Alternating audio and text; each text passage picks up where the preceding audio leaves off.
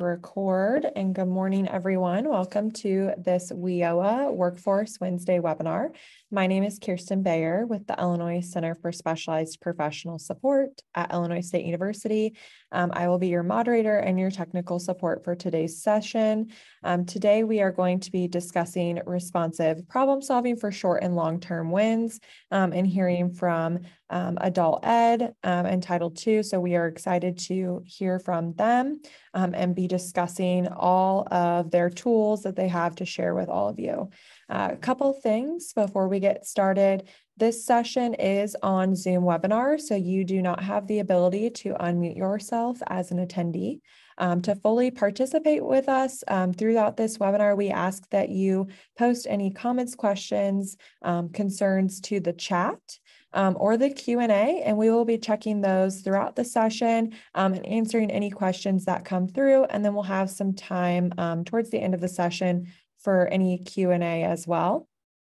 Um, this session is being recorded and it will be up on our Illinois Workforce Academy website and Illinois WorkNet within about 48 hours. Um, so you can uh, access the recording and the PowerPoint slides there. Um, I will put the slide deck uh, that our presenters have prepared for us today.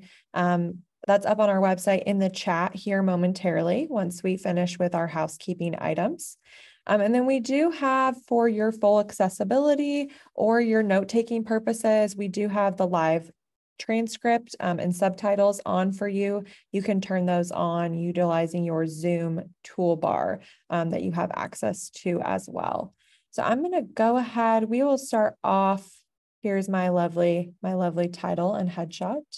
Um, and then we'll start off with our beginning polls. So first thing we would just like to know from our audience today um, is just where's your local area? So are you joining us from the Chicago area, up north, um, central Illinois, southern, statewide, um, kind of generalized, but just to kind of give us a ballpark where you're joining us from today. Um, I'm joining you from central Illinois. I know some of my other fellow presenters are too.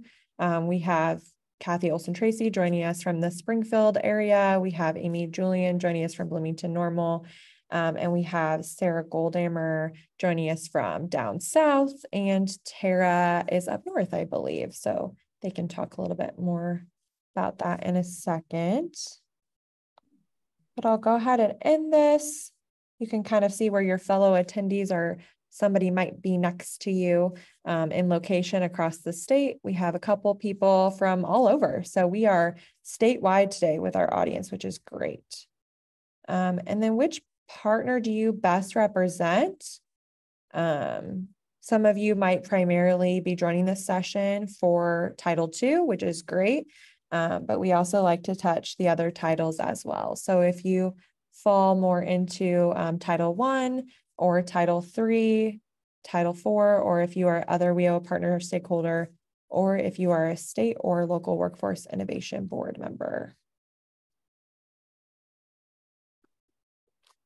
So we'll give everyone a couple seconds to answer this poll, and then we'll get started. While everyone is finishing the poll, Sarah, I'm going to stop sharing if you want to pull up your slides, and then I will hand it off to you go ahead and end this poll and I'll share the results really quickly. Most of you um, are joining us from Title 1 and 2, but we have a couple people sprinkled across the other titles as well and our other partners. So welcome everyone. Thank you for taking time out of your Wednesday morning to join us. Um, and we look forward to sharing this presentation with you and all the, the tools. So I'll hand it off to Sarah and our other presenters to get us started with the presentation. Thanks, Kirsten. I'm going to actually hand it right over to our fearless leader, Dr. Kathy Olson Tracy, to get us started. Good morning, everyone. I am really happy to be here today with this amazing team. Um, as you will see throughout the presentation, there has been an extensive amount of work in reimagining outreach and recruitment. Um, the pandemic certainly made us reimagine how we reached our, our audiences and we have had almost two years worth of um, work collaboratively done by our professional development network to work towards um, increased outreach, increased recruitment. So you're going to hear about um, where our project began and then where we landed with a statewide outreach campaign led by the Adult Learning Resource Center. Um, some incredible work we began this project with um, from our PDN, from SIUE and ICSPS. Um, so I'm so pleased to share with you, but I do wanna start with our end result. In FY22, we're just wrapping up our reporting numbers, so we have a lot of work yet to do, but what we do know is that we have a 40.5% increase in student enrollment from FY21. So um, we are stepping back into coming closer to some pre-pandemic numbers we have a ways to go, but uh, a 40% increase in enrollment in a year when we still had some significant challenges is really a testament to the work um, established at the foundation by Dr. Amy Julian and Sarah and their teams, and that wrapped into some of the leadership and exceptional work by the ALRC and full capacity marketing. So I'm very pleased to share with you the work that we've done so far that you can capitalize on and copy and uh, modify for your program or your um, partnership. So as mentioned, I'm Dr. Kathy Olson Tracy. I'm the Senior Director for Adult Education and Literacy. And with us today as presenters are Dr. Amy Julian from ICSPS and Sarah Goldhammer from SIPDC. And in our audience, um, as members, we have members from the ALRC staff who led the um, statewide outreach campaign. So you've got voices from everybody who kind of led us through this remarkable um, increase in student enrollment. Okay, thank you, Kathy. So let's get started looking at what our goals are for this session. And, and really, we want to give you a holistic story. We want to tell you the story of the last few years. So uh, Kathy started with some good news and some good outcomes that we have to report now. But it was a it, has been a long road, and it's not like the road is over. So that's one of our uh, stories that we have to tell you is that we continue to look at how can we use what we've learned to continue to um, set the foundation for the next year and to make sure that we continue our problem solving process. So in that storytelling, we hope to review responses and problem, sol problem solving steps in adult education to address needed outreach to potential students. And that uh, over a period of time. We're going to spend a fair amount of time reviewing uh, resources that we created to support adult education program. That includes promising practices from the fields, um, some website redesign, modified messaging and action plans. We're going to explore templates and tools that are from our new outreach campaign that, and specifically how programs are using those and how other people can jump on board. Um, Amy's going to talk about for our partner programs, how can you be a part of this? We want to share both short-term and long-term wins, struggles, and next steps. Because as I said, we, we are continuing to support our learners, our teachers, our programs, our communities. And so it's not a one and done. It's not like, okay, now we solved a problem, we're ready to go. We're gonna talk about how are we continuing for the future. So I'm gonna throw it over to Amy to start the story. I'm gonna take you back to 2022. I'm sorry, 2020, and we're sitting in 2022. And we started, and it was a dark cold day, as many days were in 2022. And we're realizing that the world is upside down. We're having issues recruiting students. We're having issues with programs being able to find students. Students are looking for programs, and the, and the traditional way in which they looked for programs was physically coming to campuses or physically going to buildings. And we're not doing that anymore because it's 2020. So we decided to move forward from that dark, cold day in um, 2020 and move into the light. And we needed to embrace this problem solving approach. So Kathy came to us and said, we, we have this issue. We, we cannot figure out what the programs, what we can do to help the programs. What, what are we going to do? So we identified the problem. That's the first thing. So when we looked, we said, okay, what are the problems? We identified the problem as dec declining enrollment over several years. So this is not something that started with the pandemic, but this is something that was really highlighted by the pandemic. We also had exasperated um, data issues by the pandemic and really sharing and access by the pandemic. And then led to a recognition of needs to revamp the traditional recruiting message and really revamp the way in which we reach our students. The population has changed and the pandemic really did highlight that in how are we reaching our students, where are our students at, and how can they access our programs. So we moved from this caution slippery sign into some innovative practices that Sarah's going to uh, share with you. And then we're going to walk through 2020, 2021, and where we are with 2022 because progress is being made. And um, it's just an exciting journey, but at the same time, as Sarah said, it is still a journey. It is not something that, woohoo, we're done, but we have to celebrate along the way and celebrate our wins as they come because that's what keeps us going. So, Sarah, I'm going to hand it back over to you to tell some of the success stories. Right. And so, speaking of celebrating the wins, one of the best ways to celebrate is to hear from our students because ultimately, when our learners succeed, we succeed. So, um, as we before we start the story, we're going to hear a couple of um, student voices because that's important to keep them in the forefront of what we're doing. And so, uh, this comes from Elgin Community College. Let me. Um, it's a very short video with two people in it. So let me bring that up.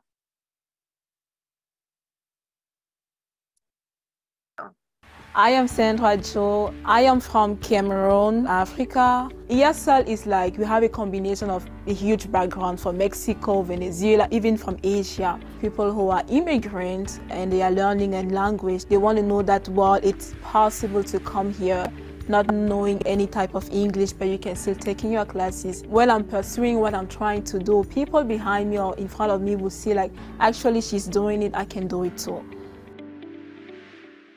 And then here we have Evelyn, um, one of our high school equivalency students. I am Evelyn Aguirre and I attend Elgin Community College to prepare to take my GED equivalence exam. I am a single mother of three kids. I do a full-time job. I strongly believe that obtaining my GED, it'll help me build a better future for my kids. I really want to inspire single mothers out there that think that it's too late that they can't do this, you can. It doesn't feel like I'm going to school. I love it. All right, awesome. And that is inspiring to hear their voices. So, those were created fairly early on during um, the pandemic as some of the early outreach. I did, y'all, before this session started, I went back to the Elgin website this morning to make sure that they're all still there, and they are. So I'm happy to report that um, some of the things that happened was an elevation of just thinking about the importance of the messaging and the prominence of where this information is located on a website. Very important. Here's another success story. So that was from a community college. We also have a fair number of community-based organizations that serve in adult education. This is one from Poder Works. And you can see on here their YouTube channel, some of their social media that they've done. And they, they just did an awesome job. They, they created this YouTube channel where they could not only share with viewers, but also allow for comments and communication.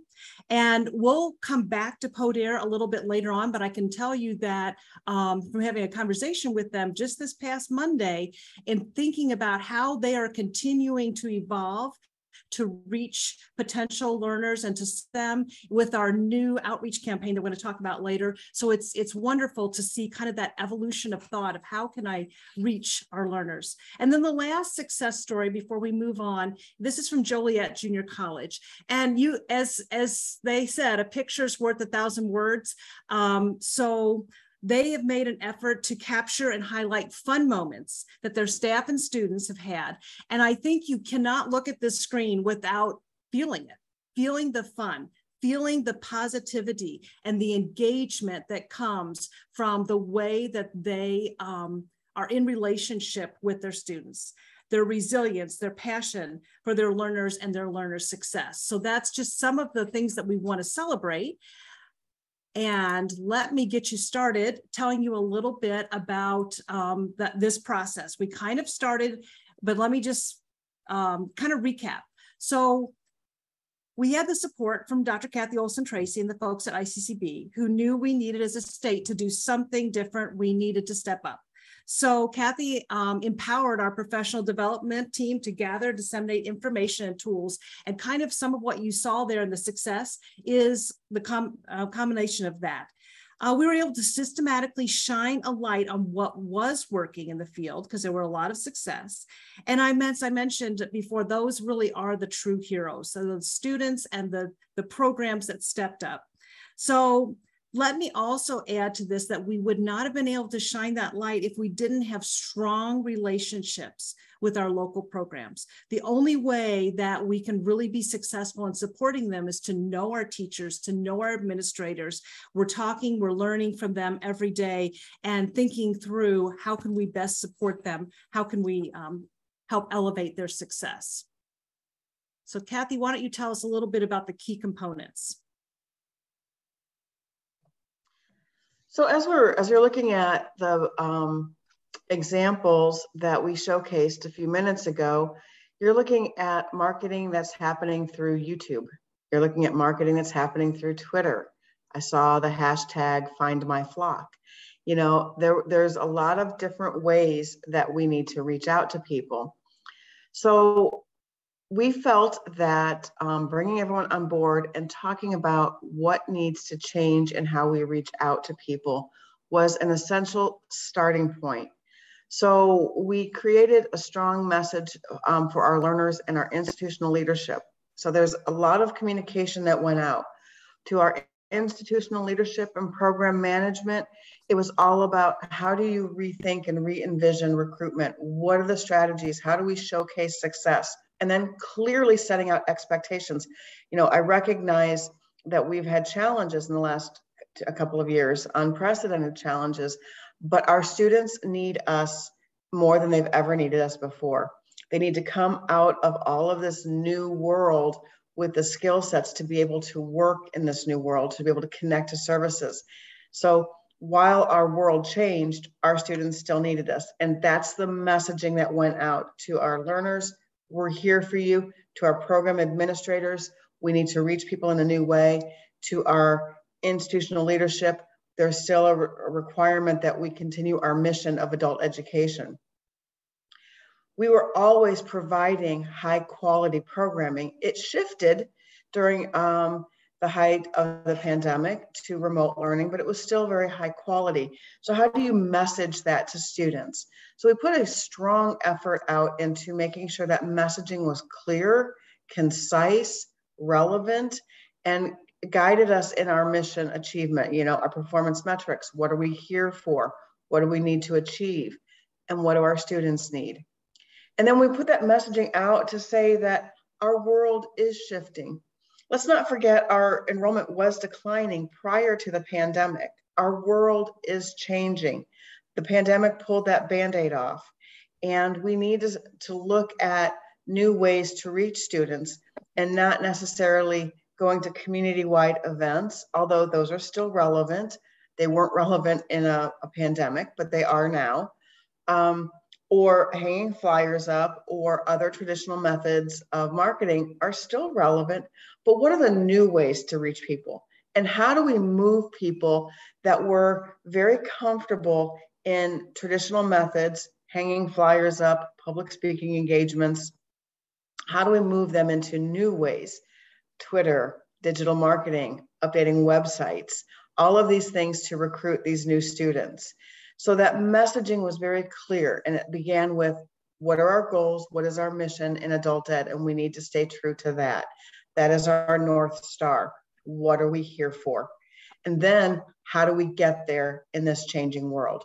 So I want to begin with that idea of messaging. It's consistent across the state. So we all have a shared mission um, and shared resources to get there. Sarah. All right, so um, I'm going to give you just a real brief overview of the process, and then we'll unpack each step as we move forward. So we worked to reach each other throughout the pandemic, and first with a series of engaging webinars. And they varied, included um, a panel style approach with people from the field sharing practitioners giving their key technology tools for engaging students and covered a lot of ground. Uh, we even touched geofencing and key marketing tools in these webinars. And then we were able to focus on helping everyone to get their websites more effective. And Amy's going to tell you a little bit more about that in a minute.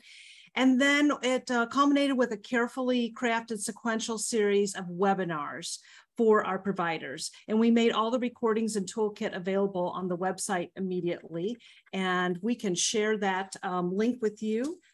Let me go ahead and turn it over to Amy, who's going to talk about our recruitment series, and then we'll share if you want to look at any of those recordings and where those are. I just posted that in the chat. And yeah, so as Sarah said, like we, you're like, wow, you started with this and then you went into this and you, yes, we did. It was one of those things that we started we're like, okay, so we began each webinar with research-based information and then we spotlighted the good work from the field. But I want to say that that was very intentional. Like we wanted to come out and say, hey, this is what the research says you should do. But you all know as well as we do that if you see another program doing this, if you see a success in another part of the state, you're more likely to implement those changes because you see your peers being able to do that, being able to share. So what we did was we went and we asked, we surveyed the system, we reached out, we said, what's everybody doing? What is working? What is not working? And if you have something great that's working, are you willing to come in and share that? And by come in, it's 2020. I mean, get on a Zoom and share that with us. So the first series that we went to, we looked at Facebook strategies because that was where a lot of our students were, were on Facebook. We talked about geofencing and what that looked like. So if a student was in your area, how do you set up geofencing on Facebook to allow you to get to your student population. We developed a kit for that because there were a lot of programs that say geofencing sounds really exciting. Can you give me a one, two, three how-to guide? And that's on that website that I just threw into the chat. And then we looked at TikTok videos and YouTube strategies because again, people were in their homes at this time. People were accessing information, not necessarily in that regular 8 to 4.30 day. I don't know about you, but in 2020, my days were like 7 a.m. to 7 p.m. And, and I was not looking for a program. So how do we find our students where they are, meet where meet their needs, and then bring them into our programs? So I will say the research strategies were fantastic, but the real meat of this, the real heart of this was bringing in the local programs and having them share. And you'll see that on those webinars and having them share how they did it, what their best practices were. And so then we're going to hand that back over um, yep. for the engagement and retention story. Because yes, there were three different series that we did. So following the recruitment series, we followed that up with an engagement retention series, three additional webinars. And the topics you see there on your screen and, um, you know, what we heard from our teachers with that they really were very concerned about their learners. We need to take some time. We need to make connections where it was difficult to be connected. Again, we got to kind of put ourselves back in that time and space. And so the topics that we covered in those three webinars was taking time to care. And once again, that was from voices from the field, practitioners sharing with us information, classroom strategies for getting and staying connected, that engagement piece that's so important. And I think it's important to point out that none of these topics are no longer important. They're all still very uh, viable and important um, in today's world, even though we are opening up some. And lastly, harnessing technology for engagement. And I want to point out, although it's not part of this webinar, we are still continuing to support our field and we've got a couple of measures in place as teachers are more um, in person let's not lose the benefits that we've got from harnessing that technology. I'm pretty sure if we did a poll, everybody would say that we're better and have more technology tools now than we were two and a half years ago. Um, some things we learned we didn't want to or at the speed we wanted to, but we're here now. So let's use those. And plus we keep getting additional tools. So we continue as we think about those long and short-term goals and long and short-term successes. Um, one of the long terms is to say what we've learned, how do we continue to use that to support our learners out there? So those were the engagement retention series. And then Amy's going to tell us a little bit about the website webinar. So what we heard from a lot of programs was we need help with revamping our website. We need help with prioritizing our website. We need help with making adult education be a priority on, say, our institution's website. So we did a webinar and really teams spent time working with individual programs to enhance their website. So this was not just a one and done webinar. This was something where you could come in and listen, and then we did technical assistance with those programs. We looked at different issues from different perspectives. So looking at the type of program, community colleges have different, I'm gonna say red tape, than say a community-based organization or a school district. And one of the things that we really wanted the whole system to acknowledge is that as we are in the upside down, we have this situation where people are coming not to our front door, but our front door has become our website. And that is something that, I mean, if you take nothing else away from today, that is something I really want you to take away from the day that look at your websites and see if what you are sharing is the information that you, the people who are looking for your programs needs because that's where they're coming first. They're not driving over to your program. They're not going to be knocking on your door. They're clicking through the internet and they're finding your website. So what we did during these effective webinar series was really spend time with the programs on as to how to elevate your program. So if you're on a community college, is adult education on, on the front page of the community college? If you're on a community-based organization, is your programming or for you, are your trainings available? Our Title I friends out there in, in the internet today, are your programming, are your trainings available on that front page? We found, and the research will tell you that people don't want to click through. They don't want to do 22 clicks. They want to do two. So if your information was not within two clicks, you were losing students. You were losing potential students or potential clients or customers. So what we did was really work with the programs as to how to elevate their websites and modify their websites. Now this was all happening through 2022. And then we started into 2021 is when we moved into the adult education recruitment plan. And so this was a big, not a paradigm shift, it was just a slight shift. Everything had been voluntary through 2020. Everything had really been responsive through 2020. And then in 2021, we said, you know what? Let's put some meat with this. Let's, you know, we have this great framework, we have these great best practices and look at some framework. So the adult education recruitment plan is a five-step continuous improvement process. So if you're familiar with the continuous improvement process, you're seeing this and saying, wow, this is not, you know, rocket science. And no, we don't work for NASA, but I don't have to get a, a, a space shuttle launched this week and they do. So what we're looking at though is helping adult education programs organize, explore and research, understanding impact, acting on what they've developed and then reviewing and reflecting. So we walked the programs through, and the next slide there will kind of show you um, the process that we went through. And so I'm gonna let Sarah, I'm seeing the slides, I'm gonna let Sarah talk about that. But this is a process that's used and had been used by a lot of our community college programs. Continuous improvement is not new to adult education. We just, what we did was we focused it on marketing and recruitment. We focused it on what they would be doing to really have their adult education recruitment plan. And it was named that. It was, and it was an action plan. It was how do you get from point A to point B? So Sarah, not meaning to talk over you, but go ahead on your. And Amy, your your passion is showing how excited you are with that. Um, but you know amy's already laid out for us the importance of having a plan the importance of thinking through steps and again i want to take you back to that time a lot of what we were doing was reactive so it was great that uh, in kathy's leadership had to say, okay, hold on. We want to take a look and let's do some systematic planning for the future. So that, I mean, some things we didn't have a choice, we had to be reactive to, but let's really make sure that we're looking at first at that process. We understand what our goal is. Um, we need to understand the process and the expectations. We also looked at a gap analysis. We wanted to make sure that everybody was understanding where the the problem areas were that we could address that. One of the things Amy mentioned was, you know, what's your, where do you show up on a website? Um, how does the clickability rate? All of those kinds of things really do play into our recruitment plan and building for the future. So what are the next steps? Provide direction and then our, um, ICCB helped with the, the leadership of helping people. It wasn't just like, hey, here's a tool, now use it.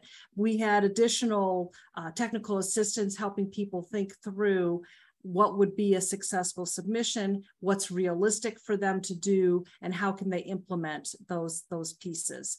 And Amy, I, I, I want to throw it back to you. Is there anything additional that you, because I know that this is your passion, is there anything addition that you want to share?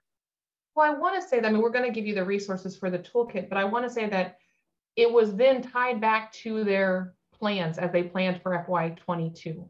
And so it wasn't just something that, and, and I commend Dr. Kathy Olson Tracy's leadership on this because it wasn't something that was just done in isolation. It wasn't just a nice to do. It was the agency recognizing that we have to make a change. And then we had had a lot of most responsive to intervention. And you know, that's always easy is to say, those people who are already doing it, let's highlight the people who are already doing it. And we showcased them through 2020, but through 2021, we made it a priority for everyone. And I think that's where we're finding that success and that 40% increase. Um, so what we have, in these documents are all available for you on the website and they'll also be available for you through this, but it's the Adult Education Action Plan announcement. Then there is the Continuous Improvement Plan. This is a fillable PDF that you, if anybody can go on and use. Um, the Continuous Improvement Plan as a Word doc, so if you want to manipulate it and change it in any way. And then we have the final action plan and then the final um, action plan as the model itself. And so those are available. We made them available both as a PDF and as a Word doc. We allowed people to customize it as they needed. But it was one of those things asking, what are you doing? How are you going to implement this? What is this going to look like? And then to ICCB's credit, as they moved into FY22 with their plans, they ask about it. So then it was reinforced with the credentials or with the, the power of ICCB. So we did find some success and we actually had programs telling us this was great. This helped us focus. This was exactly what we needed, um, which is just really great to hear because we really was intended. I mean, it's a continuous improvement model. It's to help colleges and programs and partners focus on continuous improvement. Some additional resources that we had um, for our action plans and for programs as they were trying to move ahead through some pretty troubled waters um, was our promising practices. And we're really proud of those because all of those came from the field. Again, there were people who stepped up immediately and started changing the way that they were having, um, providing instruction, changing the way that they were um, engaging with students. And so we decided to, to elevate that. And so we created a promising practice sheet. And this is a little screenshot of it. It says a rising tide lifts all boats so it's you know the the fact that we want to make sure that we partner with each other that we learn from each other um, also on, on, the top slide there are the top bullet point says COABE move ahead with adult education campaign. For those of you who are not Title II adult education, COABE is our national professional association and they have this um, campaign going on. And so some of what we're going to share with you later kind of dovetails off of that with our statewide campaign. But in the meantime, we have found, as I mentioned before, it's really important to be talking and hearing what the field is doing so that we can elevate that. That's what we did with the promising practices. We continue to do that. Again, we're no longer reactive we have this plan and we're moving forward. And one of the things that we're excited about is every two weeks or so, we have a Friday feature on social media and adult education, and it lifts up and spotlights some good work that's that's happening across the state. So that's one of the good pieces that we saved from our pandemic days is how do we make sure that we elevate the voices of the people doing good works of our programs and of our students. And so to build on that, let me, let's hear from some of our programs. So again, these are recordings from some of the pieces that were provided throughout the state. You'll see a good representation. You're gonna see some of the same people that you saw before. There's Poder over here, and there's Joliet Junior College, but we're gonna start with Elgin Community College. And this is Elizabeth Hobson and Ashley Zeman from Elgin Community College, and they're gonna highlight two goals from their action plan. So Amy Amy was telling you about the action plan. Now you can kind of see it in work. And they, uh, two of their goals was to generate awareness of adult education programs, to generate interest. Um, and one of the things that was their goal was to include moving adult education to the front page of their college website and to capture increased student information via the online inquiry form. So it's just a couple minutes long, but I'm going to bring this um, recording up for you so that you can hear from one of our awesome programs.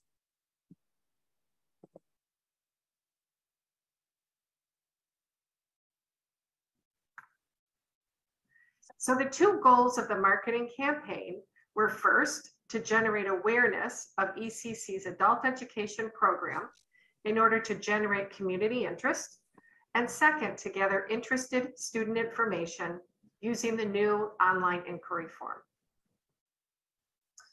So in adult education, we know word of mouth is really powerful and often the best marketing that we can do. So- but also awareness is very important, especially during COVID, because we wanted people to understand that adult ed classes were still available, but they just looked a little bit different than um, people were used to. So we developed a robust marketing plan with many tactics, and I'm just going to talk through some of those today. Um, first, we really wanted to share some stories of students. Uh, so we found um, an ESL and HSE student, and we filmed 30 and 60 second video testimonials with these students to share their stories. These were leveraged across our digital advertising efforts on Google, Bing, Facebook, and Instagram. Um, we also featured adult ed classes prominently on the homepage via a homepage banner. We mailed uh, postcards to the district explaining when they could enroll and how they could enroll in classes. And we also expanded our language list to our top 10 languages in the district. So previously we had just mailed to Spanish speaking households, but we felt there was an opportunity to expand that list. We also purchased um, radio commercials on one of our top Spanish radio stations in the Chicagoland area, La Ley. And along with that buy, we received some free public service announcements that helped extend our reach. We also purchased print advertising in local newspapers and in Reflejos, one of our bilingual publications in the district. We also featured adult ed messaging on interior ads within our bus routes in the district. And there was a QR code where they could go to get more information and, and reach that online inquiry form. We also supported Elizabeth and her team in promoting virtual information sessions about the programs. We talked about the programs in Impact Para Ti, our bilingual resource guide that's mailed out to the district. And we also featured information on our electronic signage, interior and exterior throughout campus, on organic social media, Google My Business, and we also talked it up at community events whenever we were attending events for the college. So here is an example of our homepage banner, um, very prominent messaging about ESL and HSE classes and when they start, and they can learn more for more information. Here are some examples of a print ad. This is Evelyn, a real student with her family, and then Sandra, another student. This is the Pace Bus interior ad, as you can see with the QR code where people can snap that picture and be brought right to the landing page with more information. Uh, fall 2019 and spring 2020, we're down a bit from previous years, however, are still good baselines and provide a goal for post-pandemic enrollment. As the pandemic began ramping up, uh, we decided not to offer classes in the summer of 2020 and instead staff focused on developing online intake, orientation, and enrollment processes. Additionally, that summer, faculty teams developed over 25 online courses. The first semester we offered classes during COVID-19 was fall 2020, and we had 582 students. Not including summer, which always has lower enrollment, we have seen a steady increase since then. Uh, this fall, we have 1,116 students. Since we started using the online form in the summer of 2020, we have had 5,276 student inquiry forms submitted. We are still working to improve our processes, but are very happy with the upward enrollment trend and very appreciative of all the work put in by marketing staff, as well as adult education staff and faculty. All right, so thank you to Elgin. And now we're going to go to Poder, which already were introduced to them early on in this presentation. And you're going to hear from uh, Griselda from Poder Works, who's going to spotlight their online registration program, also talking about their social media, including YouTube channel, texting, and connection options. And I'm going to tell you, you're going to hear about them one more time because we're going to continuously weave through this presentation after Kathy takes us through the new outreach campaign. I want to give you some information about how they're using um, the outreach toolkit.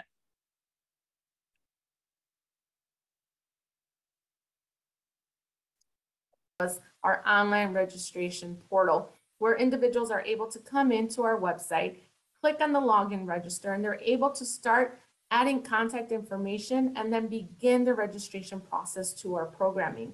We're able to help them complete their placement exam and then from there complete the registration process while our staff then gets an email and lets us know that a particular person has either started the process or has completed the process, which gives us um, a great lead to connect with them and say um, what happened if they weren't able to complete that registration. So it's a wonderful thing to have, and I do recommend adding an online registration component to your website because it does facilitate um, registration and it does eliminate a lot of back and forth between the potential student and your staff when it comes to submitting a full registration.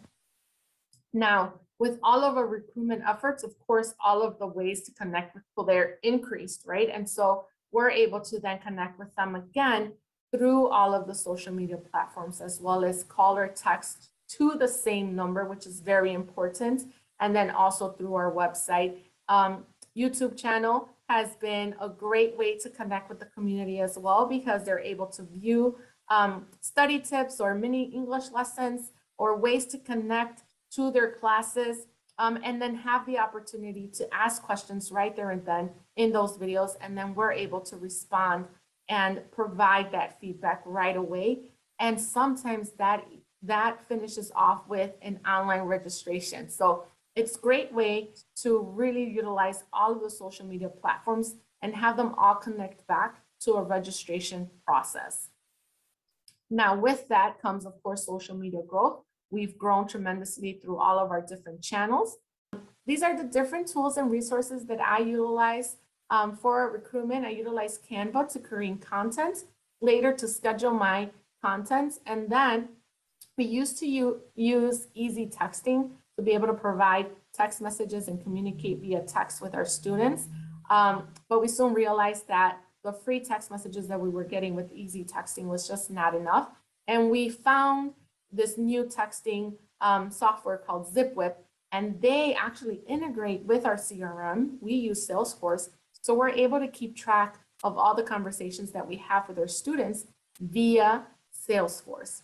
So it's a great tool to utilize and to have. But if this is something that you're still not comfortable with, I recommend EZ Texting is a great way to get your feet wet with um, communicating with your consist, consist, constituents via text messaging um, and at no cost to you.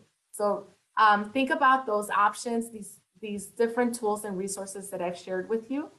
And um, again, to just give you an overview and a quick um, idea of, of some no cost items and at cost items that you can do, whether it's in the short term or long term for your recruitment efforts.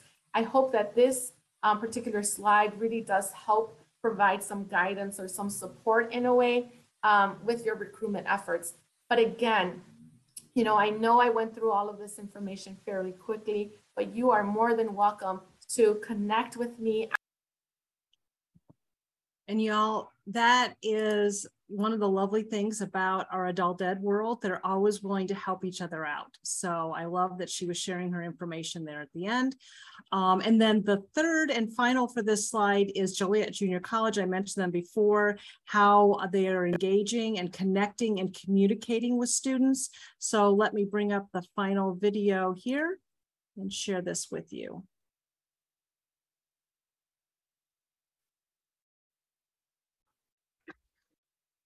One of the things that we want to emphasize is the use of text messages when you're wanting to be innovative in recruiting. Um, we use text messaging for recruitment of bridges and ICAPs. We also use them as a reminder that enrollment is open to previous students and for letting them know that they have testing appointments. Everybody has a phone, everybody will has um, their things pushed through their watch they may not answer their phones and they may not answer your email, but they will respond to a text message. Keep it short and simple with a good contact. We also, on occasion, will boost posts, especially around enrollment time. And here you can see that when we boosted a post, we reached uh, over 7,000 people, which is quite impressive in my opinion. And that was a great way for us to really get our message out to others that we are ready to accept students. And we'd love to spotlight our students and our community. In this first picture, we took a student who had just recently completed her GED exams and asked her to share a quote and picture to inspire others. And this one was heavily shared because we know that our students have a lot of friends and they are proud of themselves, so they want to share it. We um, did a lot of Facebook Lives to make sure that students and the community as a whole knew that we were still open during the pandemic and what kind of programs we're running. So this middle picture shows a Facebook Live with the Plainfield Library. And we just recently realized that they are sharing that with the Plainfield District teachers who share this as a way of introducing library services. And in this last picture, we have our own Michelle Lyman, who um, was one of many who shared quotes of inspiration. As we return to campus, we wanted to remind students of who we are and um, give them a little bit of motivation coming back. And as important as recruitment is, retention is very important. We know that students, um, word of mouth is our very best form of recruitment. And we want them to feel that connection with their teachers and with the staff as a whole. So this month, we're excited to be hosting a virtual open house where we are inviting students to join the staff and they can ask questions about our program. And we are going to explain to them how our jobs help them.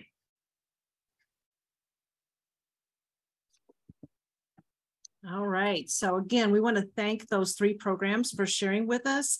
And as we continue to move forward, I do want to, it's important to me to make sure that we have a downstate presence. So um, I don't have the recording that I'm going to play for you now, but for those of you that are downstate, I'm in Edwardsville. This is from Kaskaskia College, and you'll see some wonderful statistics here of their Facebook and Instagram campaign, and they're continuing this. The good news is, as this is something they did, they had not done before, they put it in place. I'm just going to give you a couple of highlights $400 and they reached 29,000 plus individuals. They engaged with 2,400. They had um, 299 reactions, shared 163 times. And so just it resulted, this last part is it resulted in 98 new students in the program at Kaskaskia College. So awesome results. Um, and so it's been throughout the, throughout the state. Um, I will mention also as we move forward, and Kathy's gonna, I'm gonna turn it over to her in just a second to tell you about the outreach campaign, but just kind of that, the gap time between the early information that we shared with you and the outreach campaign, we did um, continue to support programs and their continuous improvement programs and their plans through FY22. We had our conferences, our Forum for Excellence, which is coming up again this September, but last September, we made sure there were connections there between the um, recruitment and engagement and outreach and the Forum for Excellence, and our, then also our Transitions Academy that's held every fall. There were those connections there. We provided a technical assistance through the outreach campaign, and I'm going to turn over to Kathy to tell you a little bit more about that. Thank you. So what you've heard so far is um, very strategic um, direction and guidance and program sharing out what worked for them we are again reinventing um, how we're moving forward with digital campaigns, digital marketing, online resources. But we also recognized we needed to provide more support to our programs. So everything that has been shared thus far can be done at the local level, whatever um, type of program you're operating in. Enhance your website, develop portals for students to access your material, showcase through digital tools what you're doing. Um, those are beautiful. But we also then um, built a statewide outreach campaign This was um, developed by the ALRC, the Adult Learning Resource Center, and they partnered with a company called Full Capacity Marketing. The Adult Education Outreach Campaign is unique for a couple of different reasons. We had our adult ed programs who were asking for a statewide um, campaign. They wanted to rebrand adult education. We had a year long advisory council looking at strategies for recruitment and outreach. And their um, request at the end of their uh, time together was that, that we developed a statewide campaign. So in response to the needs of the field, in direct response to their request, we developed this outreach campaign. And when I say we, that really goes to um, the leadership team, Sue Borowski at the ALRC and Selena Shands at Full Capacity Marketing and their associated teams. They built um, this outreach campaign on all of the premise we've, we've laid out thus far. Digital campaign, digital marketing, um, capacity building, sharing of best practices. The campaign was aligned with our vision. Um, and when I talk about recruiting students, it is also implied that we're retaining students long enough for those students to meet their gains. So recruitment is the kind of the first leg of this stool, so to speak. Um, to, to build on that vision, we created a statewide out campaign, outreach campaign with the partners that we had. And then the SIPDC and ICSPS took that um, work that was built by ALRC and full capacity marketing and provided program specific customer um, program specific assistance, technical assistance. So not only do we have experts leading in the design of what we're um, putting out there for people in this new campaign, this new branding of adult education, we also incorporated um, program specific technical assistance. This is necessary because we're looking at a, um, not only an outreach campaign, but what makes this unique is we're, we're also building in new ways um, for programs to reach students and that capacity so that those programs can take this on their own in a, in a year from now. We'll run this campaign all the way through FY23. Uh, next slide. So the, the outreach campaign is very, very comprehensive. So we came up with the Your Path, Your Future brand for adult education and I have to say, we didn't just come up with this name. There was a lot of market research that was put into this, a lot of effort coming up with a campaign that resonated with our population. So even before we put this beautiful landing page together, and I'm using the term we a lot, but again, I'll point out that that really kind of was led by the ALRC. But as we developed this campaign um, tagline and this lovely landing page, there was a lot of work that came into what does that design look like? What is that logo? What is that tagline? To make sure it resonated with our population. So we have this wonderful landing page where students will fill out their interest form. What's really great about this is now the students can directly connect to the programs themselves because this will take them to a website that tells you how to connect to a program. It allows students to fill out their information and have contact come back to them via email, or they can even request to talk to somebody and actually work with a live expert. So there's a lot of ways to connect to those students.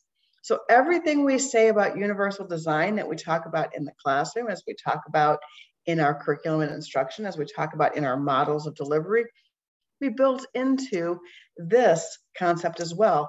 So there's multiple ways of connecting and multiple ways for students to connect to us. So we, there was very intentional design here. Next. Sorry, Kathy, do you mind if I take them there real quickly and just show them this page? And people can go as well. But this I'm going to scroll down and let you see kind of what Kathy's been talking about, that there's different messaging because different people have different reasons that they might be coming and um, desiring training. Again, if you want to go view this um, site. It's awesome.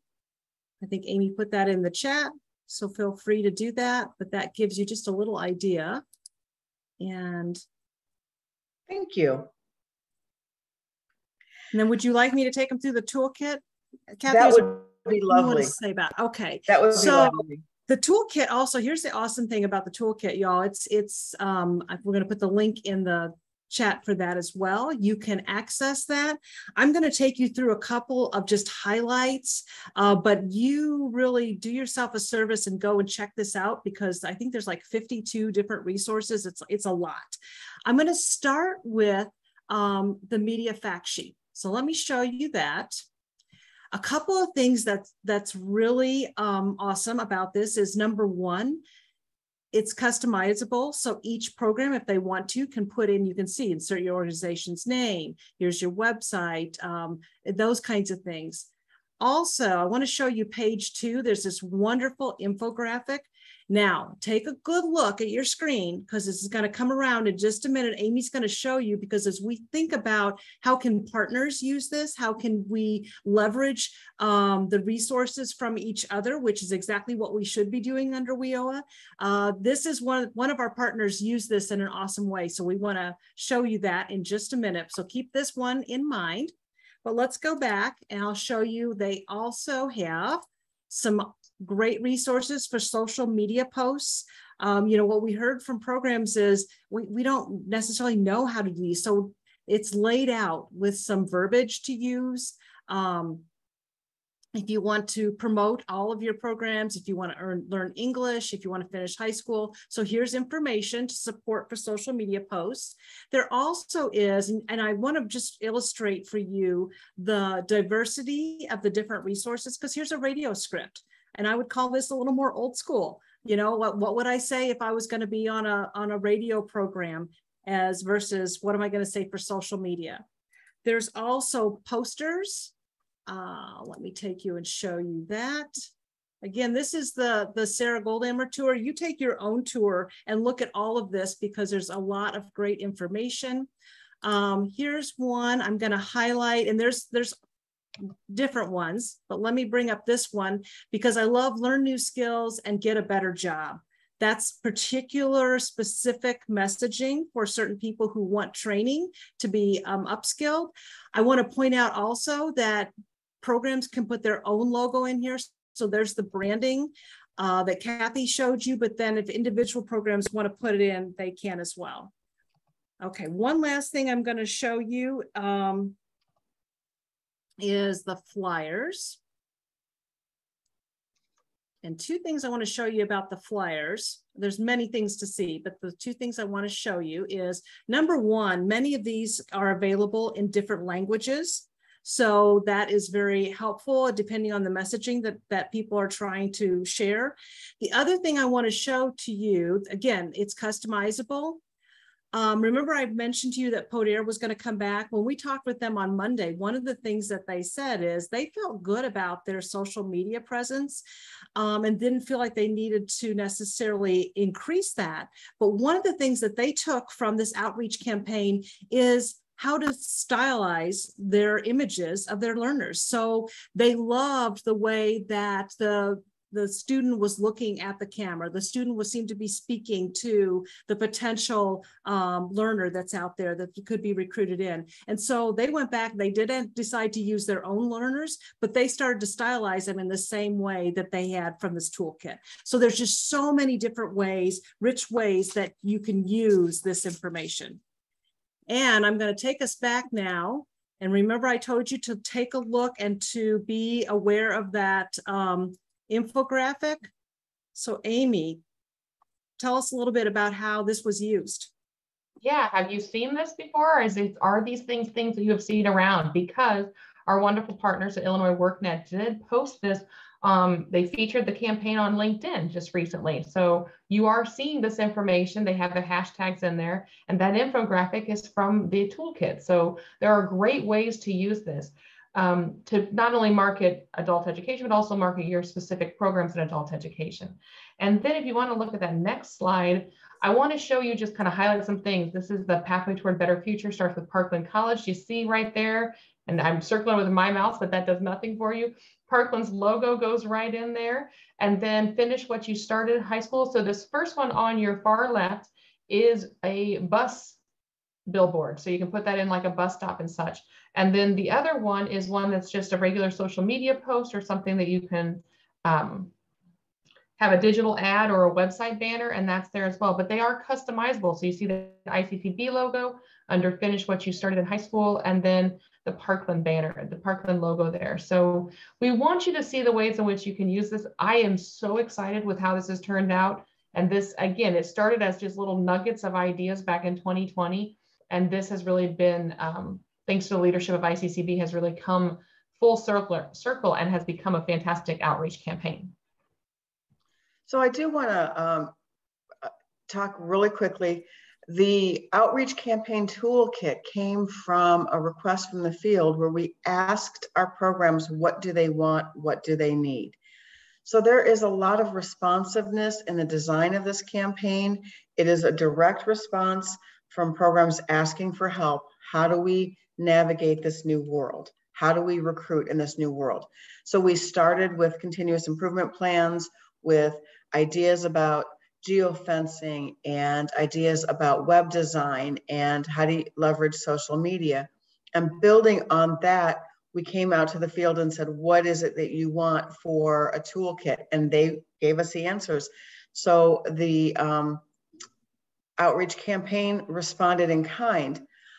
But as we talked about earlier, and what Sarah's leaning into is this is a work in progress. So what we saw was this great success from the ALRC and full capacity marketing as far as running this toolkit and these um, connections to students. So we then decided to combine all of these um, hotline um, outreach, uh, provider locators, and build one so that we had a centralized location. And the ALRC um, took this project on with the zest that they always approach projects with. And so now we have this new program directory. You can find a program. It's being maintained in one location, streamlining that information, streamlining that communication, and ensuring that we have one current model out there. This is how students across the state are going to be able to find programs. And again, I want you to notice that if you need help, you can call. There is a self-help. Um, so you can text, you can call, you can fill out a form, you can do all of that. We have um, three languages right here, English, um, Spanish, and Polish. Um, but we, you know, again, can provide additional supports in different languages. So you, a student who's looking for something will find by their zip code, they can look for tutoring, they can look for class times, they can look for a variety of resources in a very um, centralized location. The login information allows programs to customize this themselves because what we found is that in our old school ways, you know, before the pandemic, um, we had all of these different ways for programs to have these provider locators out there. And then they would have to email us with changes, and then we would have to make those changes. And it was a cumbersome process. So again, we've updated that. So now we have a centralized um, landing for all of the things that will be happening in adult ed and students can find us and programs can update their information individually. So again, we're growing and evolving as we continue to take feedback from people in the field about how they're using tools, what they're doing, and how they're doing it. Um, as Sarah mentioned, we do have a variety of posters and flyers. So we're in the process of printing posters and flyers in multiple languages to go to all of our legislators' offices and our um, local workforce one-stop center. So we'll be providing those posters to you in the next few months so that you have that that can be displayed on your on your site. So these are the things that are, are happening. One of the things that I would encourage adult ed programs or Title II programs Find these posters and flyers that resonate with you, customize them to your program as they are allowable to do, and then have them at your one-stop centers and things like that so that you can get the word out again. Um, next slide. So uh, moving forward, again, we have rebranded the adult ed with Your Path, Your Future. Um, we have an adult ed logo that is resonating with our intended audience. Um, we are collecting leads as students find these websites through boosted ads. We advertise on Google, on Facebook, on Instagram, on WhatsApp. So students can find that, fill out their information, and we call those leads that are distributed to programs. And that is going to continue through FY23 as we continue to um, provide, provide these outreach ads. I do want to talk about a couple of things moving forward. When I said that we had a 40.5% increase in enrollment, and what I'm also hearing from programs across the state is that we are starting this year very strong, and they're looking at ho hopefully being at pre-pandemic numbers. Um, so I see what we call the halo effect happening. A student is seeing these ads out there in outreach, in their Facebook feeds, in their WhatsApp. They may not be filling out the um, forms, they might be like, oh, I need to get my GED. I need to learn English. I need to go back and start school and might be coming directly into the program without necessarily filling out the form. That's called the halo effect. When you have a shared outreach campaign across the state and it remains that visible, it is um, engaging individuals and they recognize what's happening and then they walk into their local programs. We're seeing a lot of benefit from that. At the same time, as we're looking at increasing enrollment, and again, that implication with increasing enrollment means that we're also retaining students and they are achieving their outcome. So that is implied in that recruitment idea. We're recognizing that across the state, we're hearing um, critical staffing shortages, teacher shortages, and staffing shortages. So our advisory council this year is working towards some ideas and strategies to mitigate some of these staffing shortages.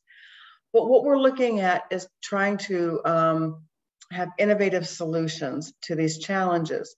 Because although I would say we're living in a, and I'm using air quotes, post pandemic world, um, because I don't know what to describe the world we're in right now, um, other than we need to continue to move forward. And other than our students need us now more than ever. We look at the challenges in accessing services. We look at the fact that the world has changed, jobs have changed, accessing networking services has changed. And our students need to come out of this um, in a stronger position than they started. So we are going to continue to look at new ways and new innovation to solve some of these um, problems and these challenges. Okay, next slide. So we'll wrap this up with um, any questions that you guys have about the campaign, the strategies, the long work that we did to get where we are, and the tools that we can provide you. So it's time to open up to your questions.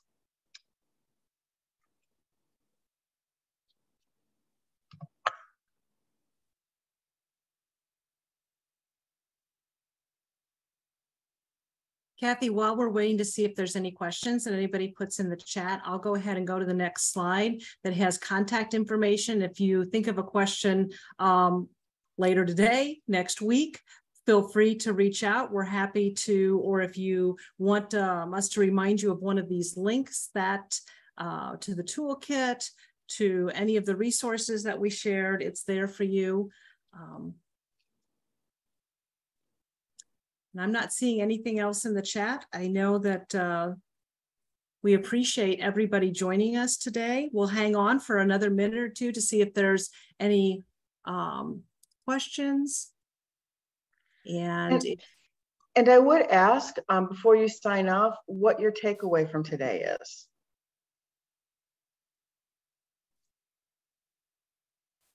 I also went ahead and put in the chat um, the follow-up survey. This follow-up survey will be on your follow-up email that you will receive tomorrow. Um, and also I put the website as well. The recording usually takes about 48 hours to put up on our website, but the um, slide deck that was shared today is already accessible to you all through that link. Um, and the follow-up survey, if you have a, a brief moment and you want to take it right now while this session is fresh in your mind, we would appreciate it. Or if something else sparks your, your interest or you have a question for one of the presenters today, you can feel free to reach out to them um, through their contact information on the screen, or you can feel free to put that um, any questions or comments in the follow-up survey that I have linked here in the chat as well. And again, I'm very interested in your takeaways, so please consider sharing what you're thinking.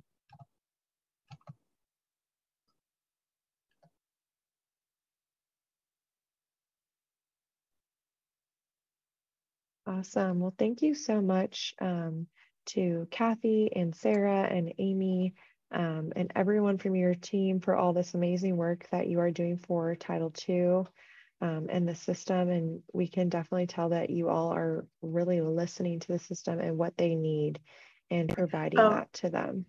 Hey, Kristen, we do have a question from somebody who um, is not able to type in the chat feature. So um, it looks like the chat feature might be disabled. Um, so I'm wondering oops. if,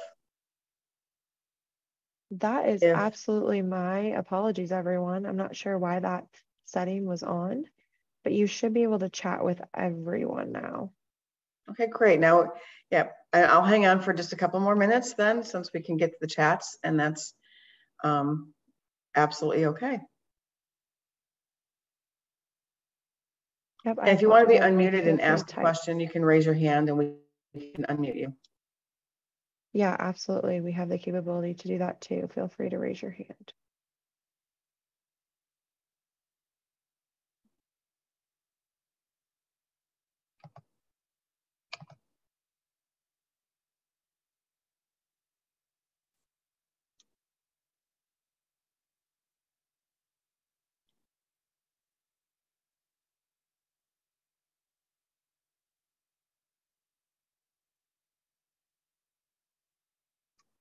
So I just want to, um, while some people are typing, um, oh, here we go.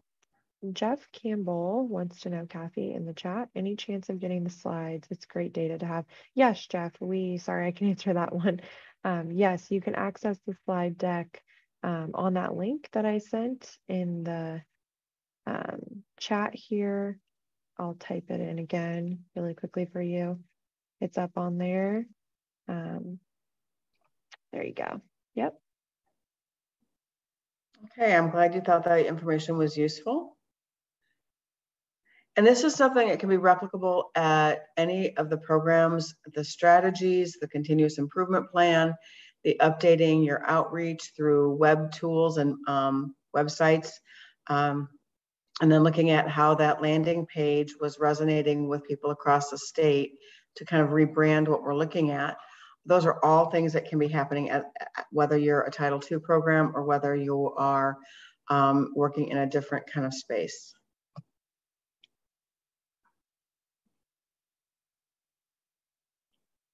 Okay. Well, um, Kristen, I think we have all the comments and feedback people need. Yeah. Rena, I'm glad that, you know, um, you're feeling this was innovative um, and giving them options on how they're going to connect with us. That is critical for their success.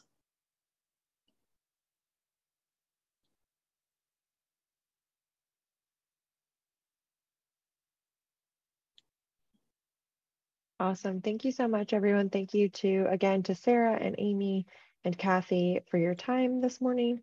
Um, and you will have access to this full recording that will be sent out to you as well in your follow-up information tomorrow. Thank you so much, everyone. Have a great rest of your Wednesday.